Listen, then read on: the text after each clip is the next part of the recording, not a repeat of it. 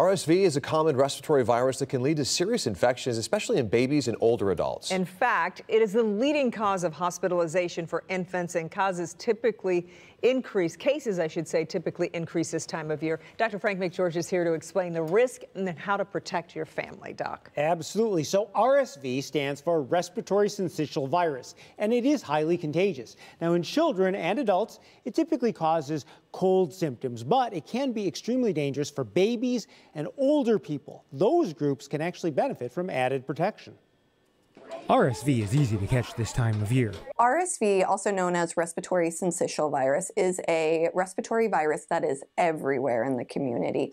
Um, the reason it kind of gets a bad rap is because it's very effective at infecting the lower respiratory tract, so things like the lungs and the bronchioles, and that can get little babies less than two in trouble if they get infected. Dr. Kristin Barrett is a pediatrician at Cleveland Clinic Children's. She says typically it spreads through respiratory droplets or by direct contact with someone someone who's sick.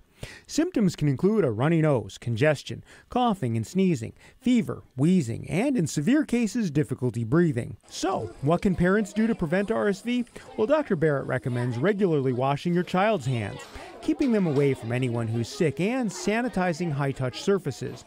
There's also an immunization shot available for babies and certain children. It is a one time injection of RSV antibodies. It, the antibodies last for about six months, so they protect babies through that kind of most vulnerable time in the year.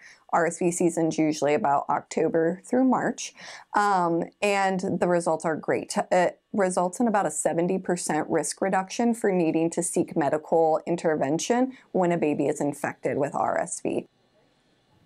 Now, if you're pregnant during RSV season, there is a vaccine recommended for expectant mothers between the 32nd and 36th week of pregnancy. There are also vaccines available for adults age 60 and up, as well as high risk adults starting as low as age 50. I've always wondered how do you know if someone has RSV versus just a regular cold? What's the difference? Well, so kind of an interesting problem. Most of the time, actually, you wouldn't. Now, for babies in particular, we often do test specifically for RSV, and even in adults, sometimes we just find out incidentally. Mm. But in babies, especially if they're having more serious symptoms like trouble breathing, we test. The thing is, there is no specific treatment for RSV, but in severe cases, we may need to hospitalize a child or even an older adult to provide supportive care like oxygen and IV fluids. Yeah.